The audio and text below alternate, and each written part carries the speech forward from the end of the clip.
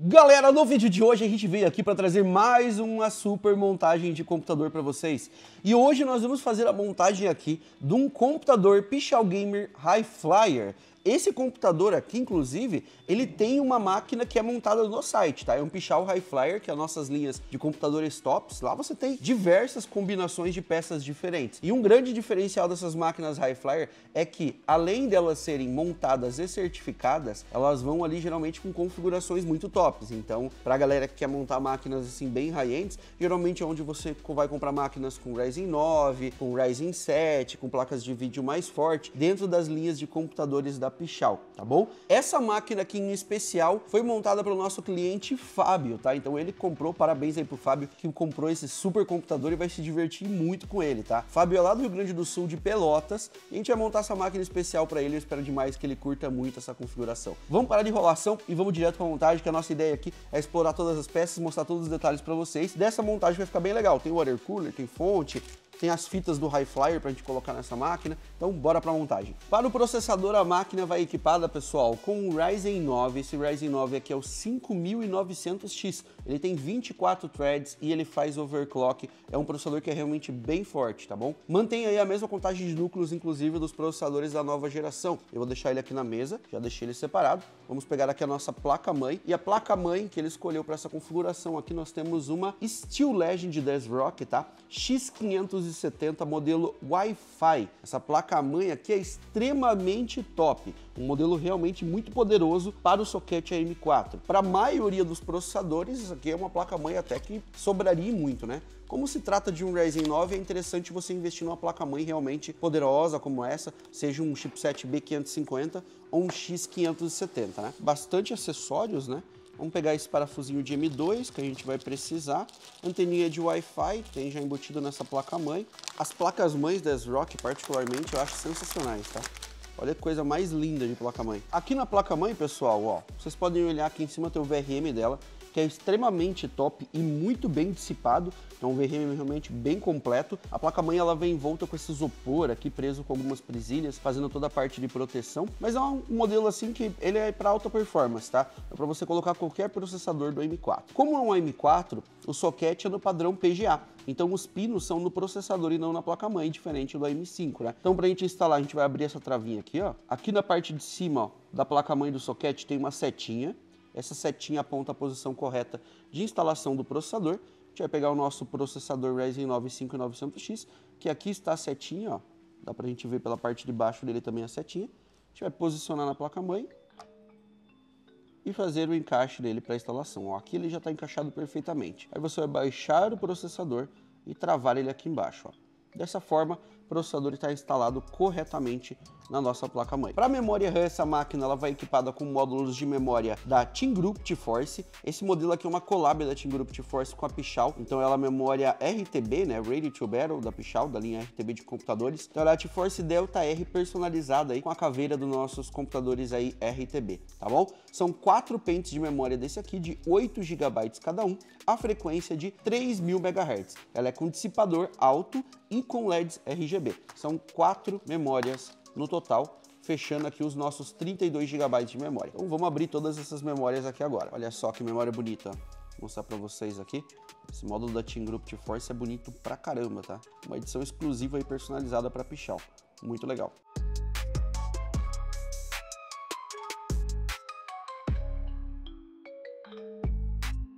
Para fazer a instalação da memória RAM, a gente vai abrir as travas aqui do slot. Ó. Como são quatro memórias, a gente não precisa se preocupar com a posição do dual channel, porque a gente vai preencher todos os slots. Mas lembre-se sempre que o dual channel é realizado quando você tem duas memórias, utilizando os slots pares ou utilizando os slots ímpares, tá bom? Vamos preencher todos os slots, né? Vou pegar aqui a primeira memória.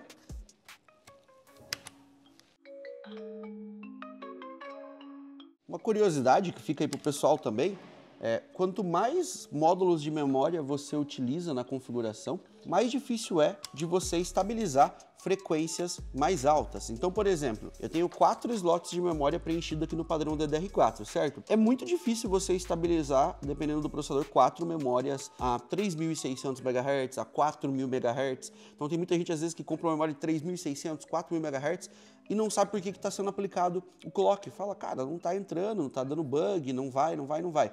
Por quê? Porque quando você coloca muitos módulos em frequência alta, você está forçando muito o controlador do processador. Então isso não é uma limitação da placa-mãe, é uma limitação do controlador interno da memória RAM que fica no processador. Quanto mais módulos de memória, mais difícil é ele segurar altas frequências. Por isso que quando o cara vai fazer um overclock extremo de memória RAM, ele utiliza às vezes uma memória, às vezes ele utiliza duas, porque ali é muito mais fácil de você atingir frequências mais altas. Se você multiplica aqui e coloca quatro memórias, se torna bem mais complicado de estabilizar. O SSD que a gente vai utilizar nessa máquina é um SSD da Pichau. Esse modelo aqui é o SSD da Pichau Kepler L de 1 TB. Ele é um SSD M.2 NVMe com 3.200 MB de leitura, que deixa ele bem rápido, e uma escrita de 2.900 MB. A gente vai abrir ele aqui, ó. O legal de você ter um M.2 NVMe é que além dele ser ser muito rápido, ele vai eliminar cabos, né? Porque ele vai na conexão M2. Então você não precisa de cabo de dados, muito menos cabos de alimentação. Olha só, ele vai ligado diretamente na placa-mãe. Esse aqui é o Pichau Kepler L, tá? com o sistema de dissipação dele completo em alumínio na parte superior e na parte inferior. Tem as camadas internas de dissipação com uma lâmina de cobre, né? E também tem duas camadas ali de thermal pads tudo isso para deixar esse SSD aqui extremamente geladinho, tá bom? Na placa-mãe que a gente vai utilizar, olha só, olha como que é o dissipador dela. Você está vendo aqui?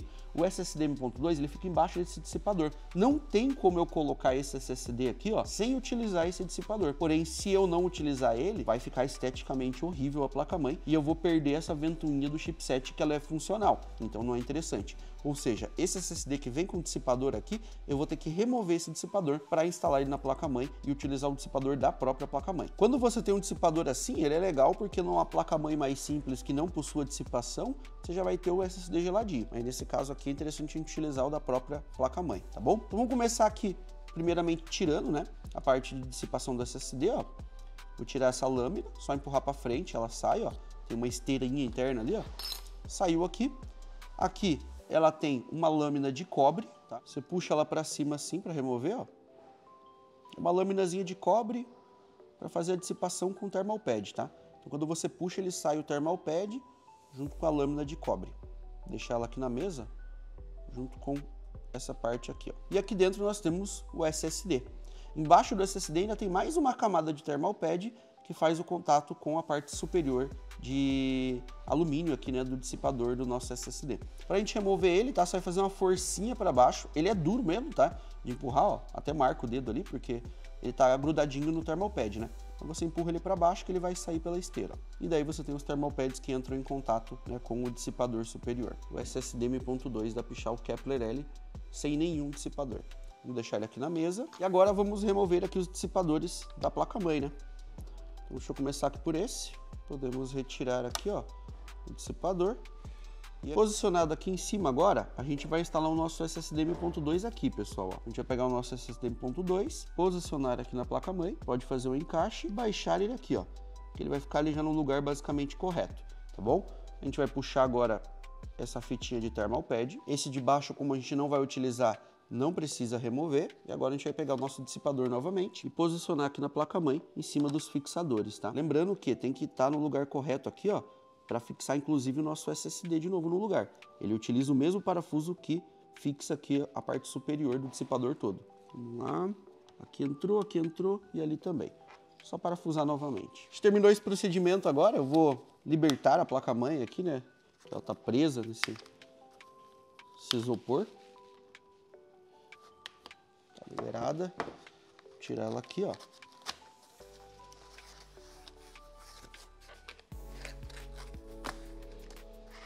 E aqui nós temos agora nosso processador, memória RAM e também SSD instalados na placa-mãe Steel Legend X570. Um belo projeto de placa-mãe aí do AM4, né? Agora a gente vai instalar o nosso gabinete, pessoal. Vamos abrir ele aqui para ver todos os detalhes, tá?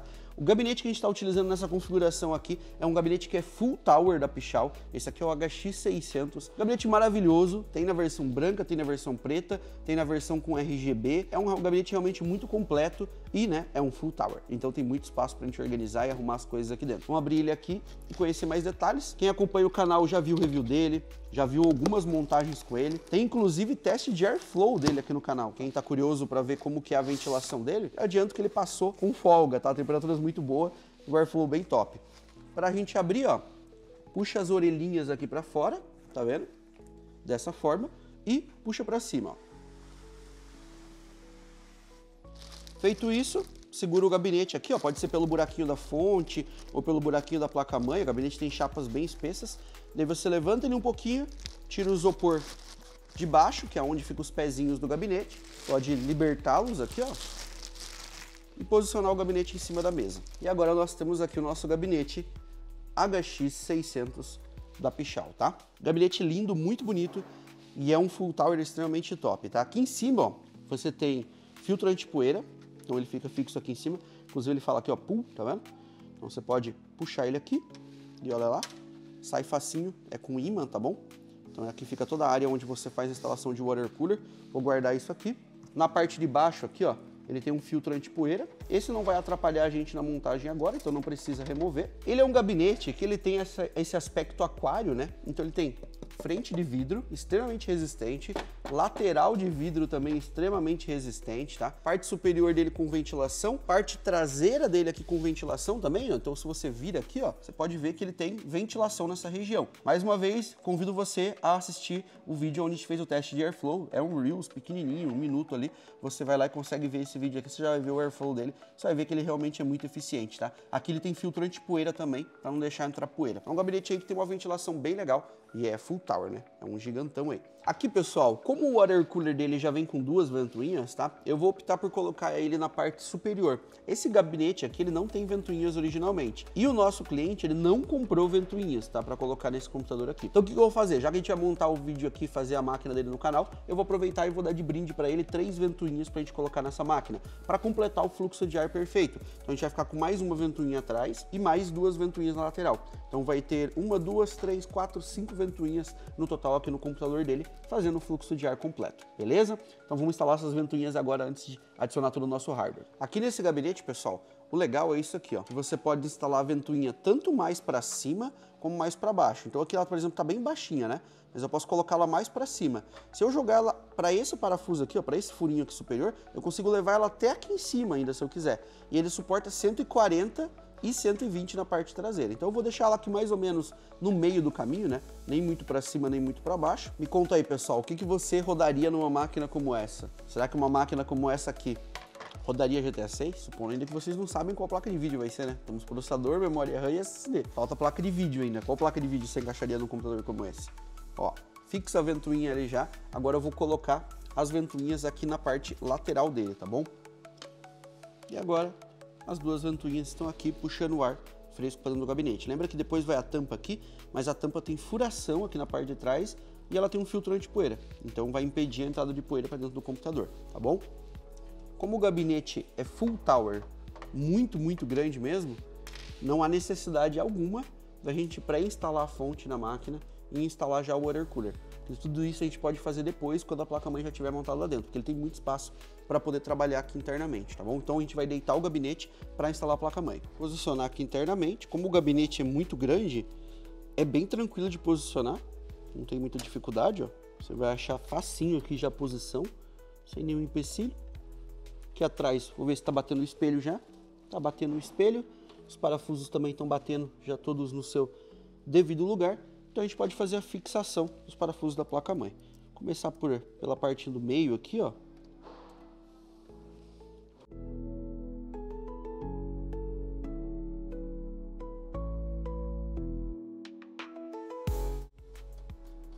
Para a fonte de alimentação, a máquina vai equipada com uma fonte Pichal Unido 750L, tá? que é a fonte de 750 watts da Pichal. Completaça, bonita pra caramba, fonte testada aí pelo Tech Lab, lá pelo Ronaldo Boassali ao vivo, ó. Manualzinho, certificado de garantia, proteções aqui, os parafusos para a gente instalar a fonte e aqui vem nossa fonte, né? Remover aqui a fita de proteção, que está a nossa fonte Nidus 750L da Pichal, tá? E vamos instalar nossa fonte, tá? Ventoinha virada para a parte de baixo, vamos aqui no PSU Cover, é só posicionar a nossa fonte, ó. Bateu a furação aqui atrás, ó, padrão ATX, só fixar ela. Pegar aqui o parafuso,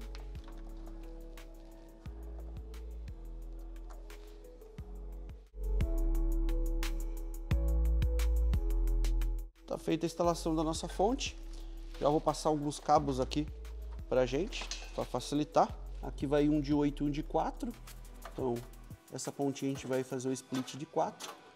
Isso aqui depois a gente pode puxar para cá para deixar mais organizadinho, amarrar ali atrás tudo mais. Deixar aqui o 24 pinos, ligar na placa mãe. Só tem uma posição correta. Vou inverter ele aqui e fixar. Agora, galera, que a gente já colocou a placa-mãe, memória, fonte, já conectou os cabos, painel frontal, já dei até uma pré-organizada na configuração, agora a gente vai para a instalação do nosso water cooler, tá? E no nosso cliente aqui, essa configuração vai com o water cooler da Corsair topzera, tá? Esse modelo aqui, inclusive, ó, ele é compatível com IQ, né? Então ele é um modelo top de linha, é o H100i Elite LCD XT. Então a gente vai colocar depois até uma imagem bem da hora ali para deixar nesse LCD aí, mas é um water cooler realmente bem top, né? Que além de trazer essa estética legal é, que esse modelo da Corsair traz, por ter RGB, display, compatível com IQ e tudo mais, além disso ele traz uma refrigeração top que vai dar conta do 5900X tranquilamente, né? Então vamos abrir aqui a caixa do nosso water cooler, do outro lado vem mais uma caixinha e essa aqui é onde fica o controlador né, do IQ, como eu mencionei para vocês. Olha só. Aqui está o nosso radiador, bem grande, né? 240 milímetros. Mas o que chama mais atenção aqui é a bomba. Olha o tamanho da bomba do water cooler aqui, do bloco dele, né? Cara, é grande pra caramba, tá? Isso aqui é um display, então você consegue controlar a informação, mudar o que vai estar aqui na bomba dele os conectores todos, né, para a gente fazer a ligação no IQ, na placa-mãe e tudo mais. E ele vem com pasta térmica pré-aplicada.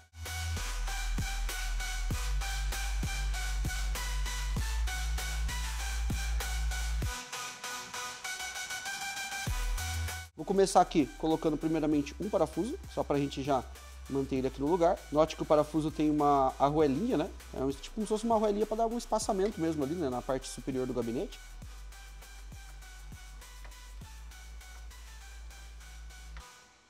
Agora que eu coloquei dois parafusos aqui em cima, eu já posso tirar a mão né, do, do radiador, porque ele já vai ficar no lugar, e posso continuar a fixação de todos os outros parafusos ali em cima.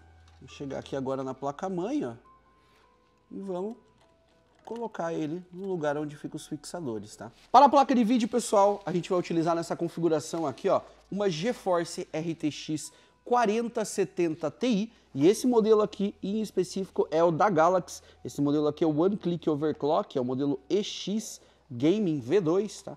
Com um sistema de refrigeração triple fan extremamente top da Galaxy. Vou abrir a nossa placa de vídeo. Deixa eu ver se eu consigo puxar diretamente esse adesivo. Vai que eu consigo tirar ele inteiro. Dá para tirar ele inteiro aqui, ó. Olha. Facilita, né? Placa bem poderosa.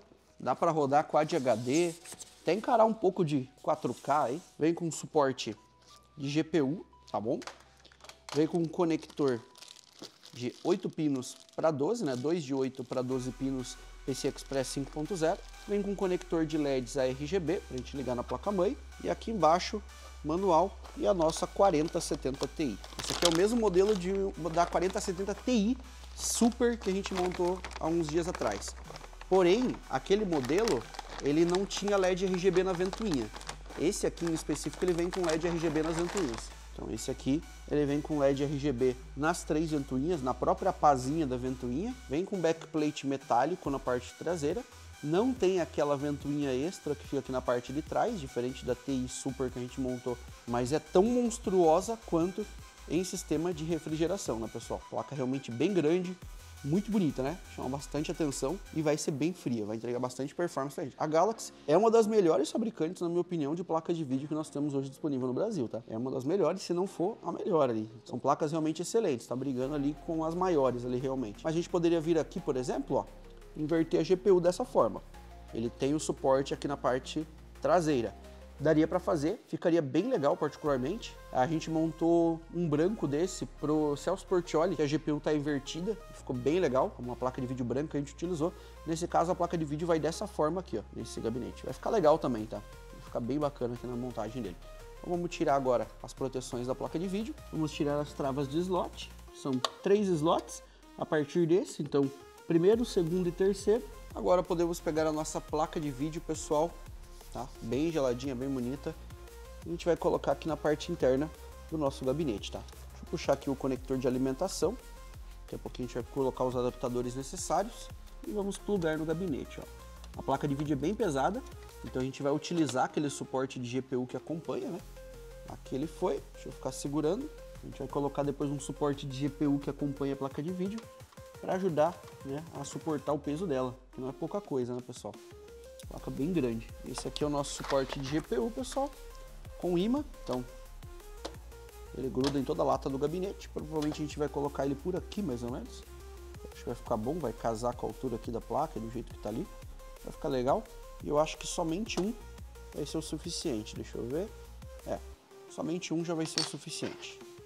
Vou pegar ele aqui. Fusquear ele. Vou colocar o que vai na parte de baixo da placa de vídeo. Deixa eu dar uma travadinha de leve aqui. Pronto.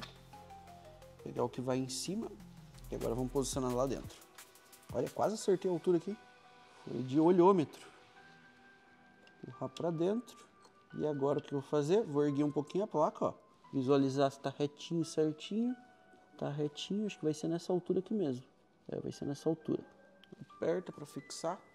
E aqui em cima aperta um pouquinho para baixo para segurar. Dessa forma a placa de vídeo tá retinha aqui internamente e com o suporte perfeito. Lembrando que o suporte tem imã aqui também, tá? Então ajuda a segurar também no lugar. Agora, pessoal, eu vou conectar todos os restantes dos cabos aqui e finalizar a organização e eu já mostro para vocês como é que vai ficar a organização e essa configuração ligada. Galera, finalmente concluímos aqui e esse é o resultado final, tá? Dessa vez a máquina a gente já ligou, formatou ela e nós configuramos tudinho justamente, galera, para poder fazer esse tipo de brincadeira. Olha que maneiro que fica, tá? Esse water cooler aqui da Corsair, ele permite no display, né, a gente modificar, colocar um GIF personalizado e a gente fez isso com a máquina. Sincou também os LEDs da configuração, né, aqui para ficar bacana. Óbvio, né, pessoal, que o LED ele não vai ter exatamente o mesmo pigmento e efeito de cor, tudo mais, mesmo no RGB, porque aqui a gente setou, por exemplo, numa cor branca azuladinha, mas como a marca muda de, né, de LED daqui da memória pro water cooler, para as ventoinhas que foram adicionadas no gabinete, né, cada um tem uma marca diferente, então acaba que dá tomzinho um pouquinho diferente, mas ficou muito próximo e eu acredito que ficou realmente uma montagem que ficou incrível. Não somente aqui dentro, na performance, mas também na organização. Vou dar uma mostradinha para vocês, ó. Tá? A gente organizou aqui a máquina, sempre dá para melhorar na configuração e organização, mas eu acredito que o resultado foi interessante, tá? A gente conseguiu aí dar uma boa organizada, amarrou todos os cabinhos e eu gostei bastante do resultado final. A máquina ficou realmente muito bonita, eu queria ela pra mim.